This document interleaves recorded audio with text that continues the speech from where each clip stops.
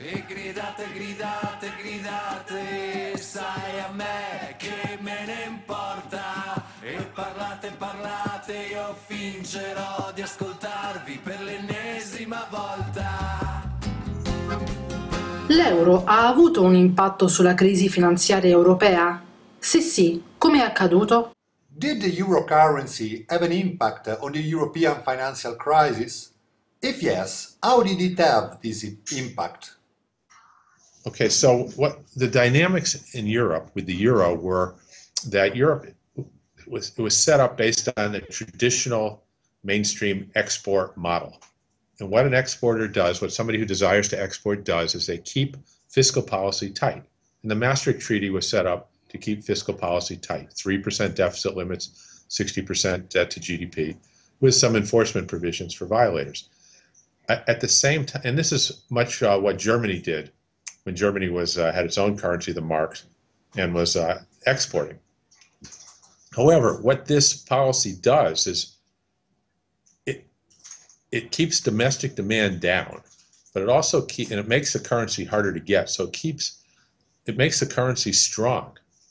And so what Germany did, what Japan did, what China does is they then go out and buy foreign exchange to keep their currencies weak enough to keep their real wages and their real costs, which is mainly wages, low enough so that they can net export. Now, this is to the detriment of the population as a whole, but it's to the benefit of certain specific exporters. So the basic model is keep fiscal policy tight and then sell your currency, buy the currency of your target market uh, to keep your currency, your real wages low enough so that you can then net export. And at the same time, you accumulate reserves of the targeted export region. So Germany, for example, had something like 50 billion US dollars uh, back when that was a lot of money in 1998 when the currencies were irrevocably locked. That's part of the strategy. Japan probably close to 2 trillion in foreign exchange reserves, same as China. All right, now, so the euro, so what they did was they copied that model with the tight fiscal policy, but they can't go out and buy dollars. The ECB can't buy dollars or yen or anything else because that would be an ideological violation. It would make it, it would give the appearance that the dollar is backing the euro if the ECB was building dollar reserves or building yen reserves, right? Then you'd say, oh, look what's behind the euro. Yeah. The yen, they wanted their currency to be the reserve currency like the dollar. The dollar doesn't uh, build any, uh, we don't build any foreign exchange reserves. And so they just did the tight fiscal policy and didn't buy the foreign exchange. So what happens? The currency just goes up to the point where your exports never materialize.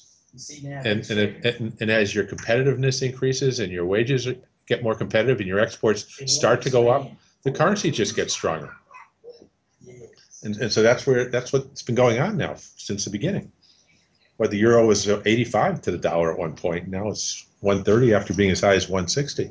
So in general, this policy has thwarted, has you know, has, has kept Europe from becoming the net exporter that, that it desires. And let me add one more thing, and that is, if you're going to be a net exporter, then you've got to own the foreign exchange of the other country, okay?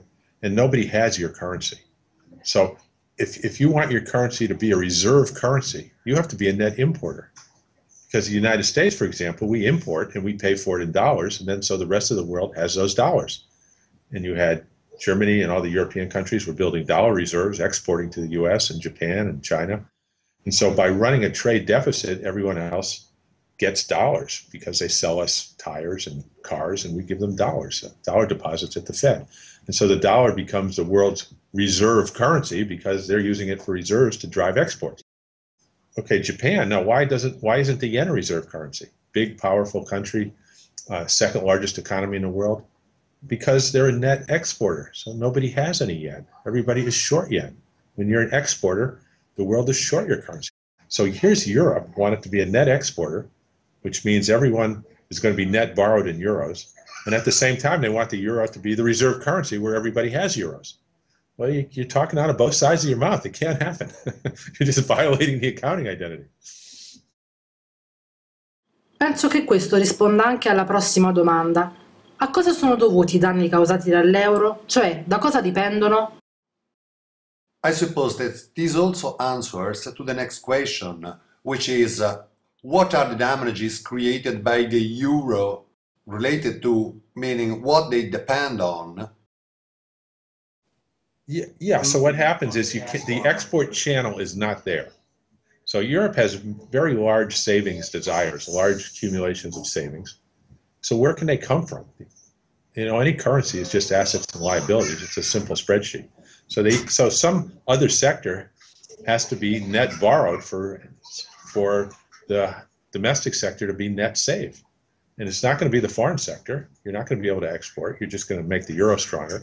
And the government's not allowed to do What's, it. what's the question? If you, it, when I was just looking at the numbers, I think for Europe to be at full employment today, spending has to increase by five or six percent of GDP. So that's net spending. So that either has to come from the government cutting taxes and raising spending, or it's got to come from exports, or it's got to come from credit expansion of the private sector. And I don't see any of those three happening under the current political leadership. And so I, I see it going nowhere.